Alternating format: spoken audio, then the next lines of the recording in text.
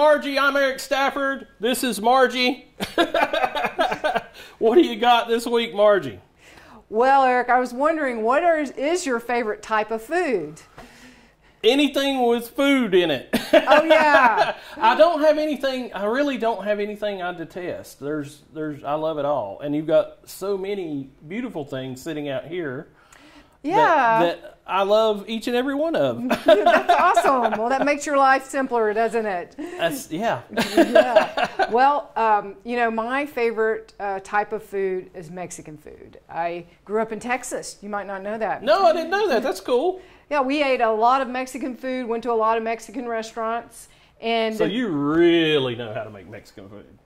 Well, I I don't really make it like the people in the restaurants, and and the reason why is because after leaving there, you just feel kind of bloated and full. Yeah. And and uh, you know even the Mexican restaurants in North Carolina, pretty much when I leave there, I'm like, oh, and I don't know if it's because I just eat too much because it tastes so good and I can't quit eating, or if it's the ingredients. It, that it's the made of. nachos. It's the nachos before. Yes, right. Yeah, you just can't quit eating that with the eating that. with the um, Salsa. picante salsa. Yes. So, uh, so what I wanted to show you today is how to make mushroom beef tacos. Ooh, that sounds good. Now I like mushrooms too. Yes, and they add so much dimension to the to the beef filling. They're they're quite excellent. But um, Okay. before we start that, um, I wanted to make a topping. I mean, certainly with tacos, you can put any topping you want on there. Yeah. A lot of people make slaws and put them on there, or cheese, add cheese to it, lettuce, tomato. Um, I really like guacamole because it has uh, a little bit of everything in it. Oh yeah. Yeah. So, so you're a guacamole fan as I like well? I like guacamole. I like avocados. I like them a lot. yeah, well, so we have um, avocados here uh, that are really hard. These okay, two are second, really hard. We lost our power. okay. And then, um, but then I had these avocados that um, you have to let them ripen on the counter. Um, you, they won't ripen in the refrigerator. So if you want to keep it for a while, you can go ahead and put it in the refrigerator, take it out later to ripen. Um, but then I had these avocados um, that I'd let ripen. And uh, so it's kind of a trick, you know, to get them just right. So this, this one looks pretty good. Um, sometimes they get too brown inside. Sometimes you open it and the whole thing is brown. So, um, you know, the way I like to cut an avocado is uh, you can just go across like this while it's in, in the shell. Real, Oh, okay. Real simple. Little trick there. And so we're going to chop it. So we'll go just go across like that. Um, and then you can just take it out with your with your spoon. So that's going to taste nice and buttery because it's it's good and soft. but yeah, if you had the hard one, um, I don't think you would enjoy that too much. no, I gotta gotta give them a little soft, a little ripen up. Yeah, so uh, I think avocados have gotten a lot less expensive than what they used to be, and um, I use them as a topping instead of butter sometimes for toast in the morning. I just put a little avocado on my toast. Yeah. It's really nice. Well, I've heard of a lot of uh, weightlifters and stuff. They'll eat like that'll be their fat. Is the only fat they eat is maybe avocados or something that has a little fat in it. Yeah, maybe that's good fat. because it's a yeah exactly. It's a healthy type fat. It's the kind of fat that we want to uh, have in our diets. Fortunately, um, the fats, um, a lot of the fats that we want to have taste really good. so that's avocado. That would be olive oils, things like that. Oh yeah. Um, so that's kind of brown. So, so I'm going to. Uh, it's easy to just discard that part. It probably wouldn't hurt you to eat it, but it doesn't. It doesn't really it just look it that just good. discolors in the air. It oxidizes like potatoes or something like that. You know, a little or apples. You know how the or they can get just a little bit too ripe, but they still they still taste they taste really good. mix it all together. Yeah, yeah. then you don't tell it as much. then you don't notice. Now, it's funny. Some some of the avocados have really small seeds, and some of them are are pretty large. That that one looks pretty good there. Do you feel cheated when it's got an extra large seed? Ah, yeah. You got- just or you could look at it the other way. You feel really fortunate when you get one with a really small seed. Oh, that's true. you say, "Wow, I've never seen one with a small seed. Any, I've not cooked a lot of avocados, but I've, I've, I've not uh, ever come across one that didn't have a golf ball in the middle of it. I've seen the seeds about half that size. Oh, so wow. yeah.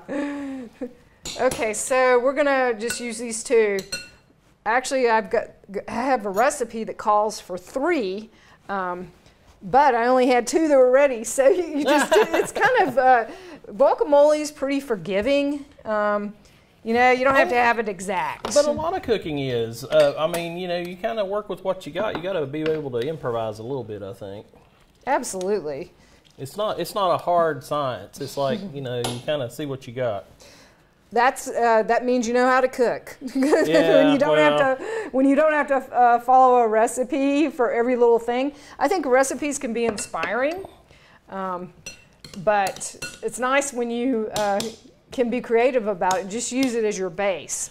I, my mom used to always tickle me because she would say, "I have this recipe and I'm going to make it," and it was like ham surprise or something. She said, "But I've got turkey," and so she would always. it was she was always doing that. So uh, we used to kid her about that because it's not ham surprise if you're putting turkey in it. Turkey surprise. Turkey surprise. So we've got uh, tomatoes. Oh, that looks good right there. Yeah, the color is really pretty, isn't it? Um, and so most guac, pretty every, pretty much every guac recipe I've seen has tomatoes. Look at this one. Isn't that a beautiful Now, tomato? isn't that like a? Isn't that considered an heirloom tomato? Isn't that what, they call those, or It is is. that It's a, uh Cherokee purple, which it's not really purple, but I think. Yeah, in some parts it is, but it, it's cool looking. It's really neat. Oh, now these heirloom tomatoes taste so great. Now I did get that one from a local farm, Uh-huh. um, but usually with my heirloom tomatoes, I just want to eat them by themselves because they're they're so good. They're I so would have to say that's my favorite vegetable. I was just talking about that today. Was uh, uh, especially the little grape tomatoes. I've been like eating them like candy. So Mm. this is the time of year for it. So I added a little bit of cilantro. So that's you know the thing about cilantro is this is one of the things you can add it to. And after I I buy it for a big old bunch, and I'm never quite sure what what else to do with it. So. Um, yeah, Yeah, just got to have lots huge of. bunch. It really does. I can never seem to get, use it all before it goes bad. Yeah. But you just keep it dry in your refrigerator. You know, maybe with some paper towels next to it. It lasts a pretty good while. okay, So, okay, so um, also onion is a key ingredient. However, I'm going to use onion powder only because I can't really tolerate onion very well. Oh, Some okay. people they can tolerate onion, and you're not and- you're not a fan of the consistency of the onion because I have my kids are the same way. They don't no, like it's the- just it just um, is not good on my stomach. Oh, I'm not okay. sure what Well, it go. But but yeah, some people can't handle peppers. Some people can't handle onions. Um, and then we'll just put a little salt and a little ground pepper. So that's that's pretty much it for our guac. Okay, well, it, it looks great. Now, you use the onion powder. Uh, one thing I like to tell people is that they sometimes they'll get the ones that say salt, and you don't have to get something that has salt in it. You can get like the onion powder or garlic Yes. powder so that you're not adding that extra salt to your diet for absolutely no reason. Absolutely, yeah, that's something to look at. If something says salt on it, it's usually got a It's good got bit of some salt. so uh, that way we can control how much salt we put in. Okay. All right, so there's our guac. Easy enough. To me, that's a great topping along with cheese. So I thought that's what we would have today. Um, but sometimes I've sauteed up um, onions and bell Well, pepper. get rid of that oh, thank you. and uh, that was really good. Uh, you know, you just be creative with it. Yeah. Okay, so now we've got our toppings. Now what we're going to do is make this mushroom beef concoction. Okay. So I'm going to Uh, move to this side and try to okay. get out of your way I'm this going way. to turn this. I've got an electric skillet. Uh, I'm going to turn that on. Okay. Um, I have already.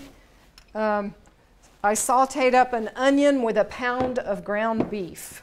Oh, so okay. that was easy enough. That was all it was. A chopped onion, a pound of ground beef, browned that. I got eight ounces of mushrooms, chopped them up, and finely, and then saute them up to get the moisture out. They've got a tremendous amount of moisture. Oh, okay. So the, what this does is it cuts it cuts the uh, amount of meat that you're getting, which is really what we want to do. I mean, meat provides some essential nutrients, but really most people eat more than what they need, right? Yeah, yeah. I think we're all victims of that. Yeah, so this way you still get those good nutrients, um, and then you get the flavor of the the mushrooms, and uh, you know you don't really feel like you're missing anything. Um, so we've got this taco seasoning that I made up. oh, okay. Yeah, I made my own. The reason I did that is because if you go and get taco seasoning at a store already made up, it's usually pretty salty, right? That's that hidden salt we were talking about. yes, it's in everything. so, so not that I'm against all salt, but most people get way more than what they need in their diets. Yeah. Um, so I've got four tablespoons of um, this is tomato paste. So this is this is going this is going to give um, our combination here a really robust flavor. So I'm going to uh, put a little olive oil in our skillet. Because my meat, I got the really lean meat. So Okay. whenever you choose your meats, it's, it's good to get it as, as lean as you can. Uh, I know it does cost a little bit more, but Yeah. yeah, it doesn't drain out. But you could also use turkey or ground pork or anything ground. You could. So You could, else. yeah, ground chicken. Ground chicken. You could do that. So that's one pound of the, the ground meat. It's sizzling already. Yeah, that's a good sign. Eight ounces of the chopped, cooked, cooked up mushrooms. And you know the consistency of the mushrooms. I'd really think with the beef, you're not even going to know it's there. I mean, No, it's you gonna, really don't. Yeah, it's gonna it's gonna seem the same as the hamburger. It, all, it all, is also the same color, so that Yeah, yeah. that helps. Now, um, mushrooms are um, high in B vitamins, which uh, helps you with your energy levels. The B Oh, okay. vitamins they help need- your I energy work. I in need your more body. B. B or coffee, right? B or coffee yeah. or what, what vitamins in Red Bull? Yep. I think they add a few to that. A lot of salt in that. So our um, our concoction here that we've uh, Your taco seasoning. my taco seasoning. It has um, chili powder, a little bit of cayenne pepper, uh, oregano. Has a pretty good amount of uh, cumin, which Oh, okay. when I saw that recipe, I thought that looks like too much cumin, but I thought it really is a nice combination. And then I put in some uh, smoked paprika and some sweet paprika. Just kind of a combination. Yeah. I, I put a little bit of salt in.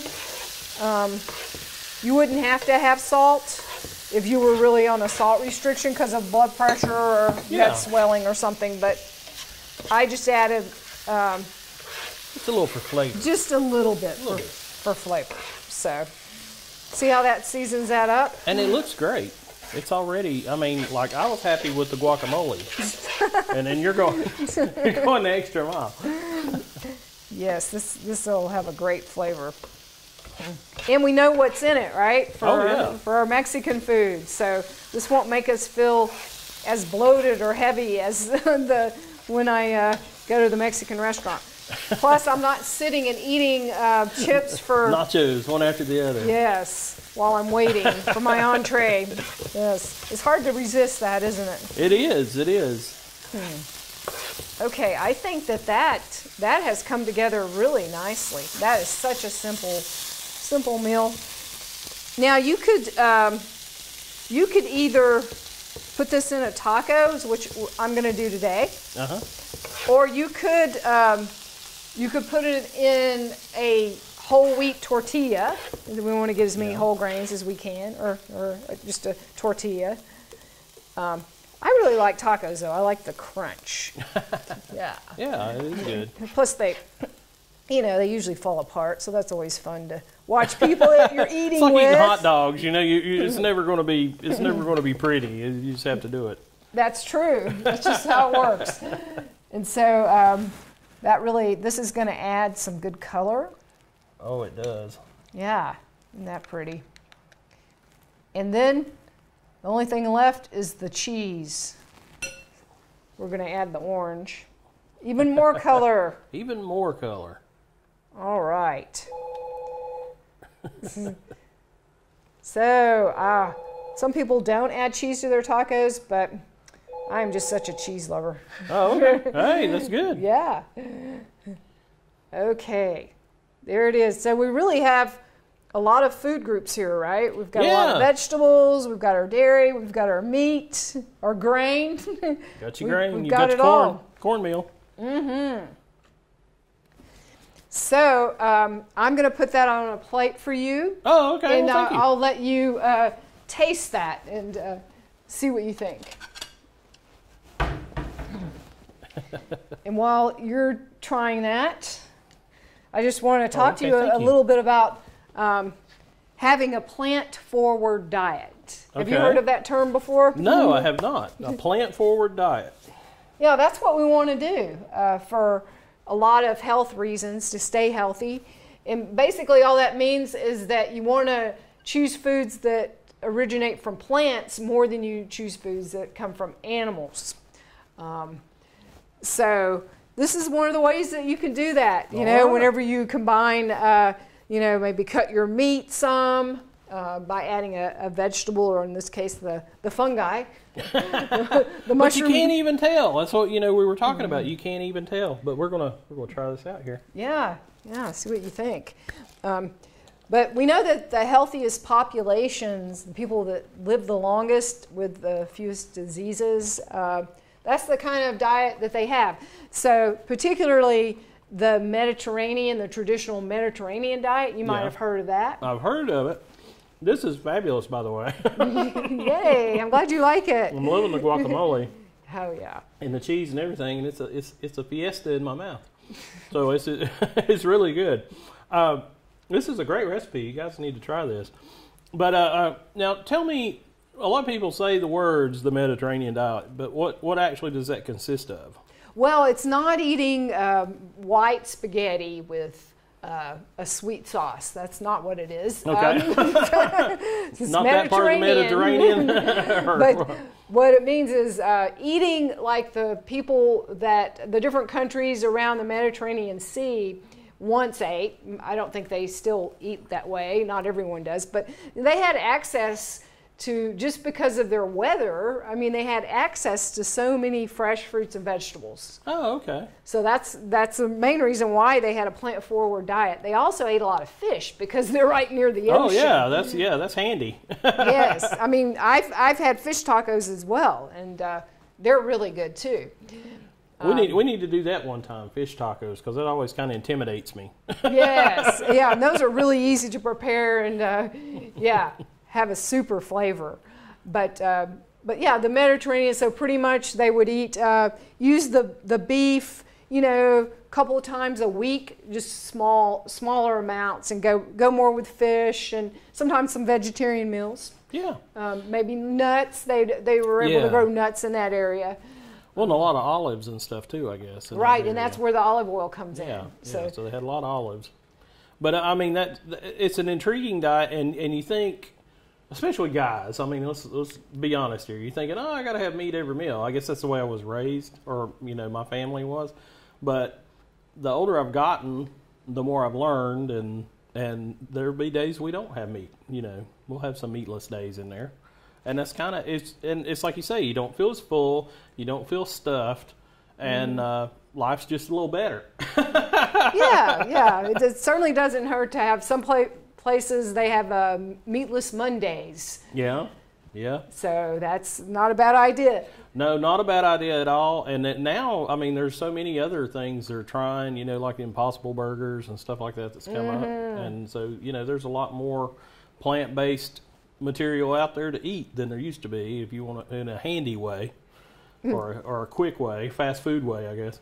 Well, and you don't have to crack your nuts by hand either. they, No, they're no, done, let them so do it. Yeah. That's, that's so much better. So Yeah, walnuts were. I mean, when I was a kid, you would go to somebody's house and they'd have that tray of walnuts and the nutcracker sitting there, and it's like, you know, I remember that. you got to work for it. yes, you work for it. Pop them pecans, get that out there. Dig it all out. Dig so every yeah, bit it's, out, it's yeah. a lot, it's a lot So- easier now. Oh so. yeah. But lots of like this is so good. I really like want to quit talking and like eat it. Okay, So- well, I'm glad you like my recipe. And Yeah, it's great. And uh, uh, the, now the recipe, you guys, it'll be at the end of the episode as well. But uh, we'll have it up there so you can see it. And uh, uh, but yeah, I want to do this at home because this is really really good. So I love the guacamole on it. I, I don't even think about going that way. So. Yeah. So yeah, I mean, I New see them on sale. I see the avocados on sale, and I just walk past them. So now in my you little know. cart. So yeah, but it looks great and it tastes great too. So. Okay. Well, thanks for joining me. Well, thanks for having me, and thanks for having me back. Now, you guys, if you want to find more recipes, where can they find more recipes from you? Would there be more stuff online or a place? Well, they could to go the to extension? Med Med instead of Meds um, is the program that I've taught. It's a class series that I've taught, Okay. and uh, there are so many good recipes on that website. It's Med instead of Meds. Oh, okay. Well, that sounds good. That sounds good right there from the, just the title. So uh, Yes. yeah. So we'll do that instead. But Margie, I appreciate you taking the time to show us this, and it's always great and it's always fun to do this. So thank you so much. Thank you. All right. Música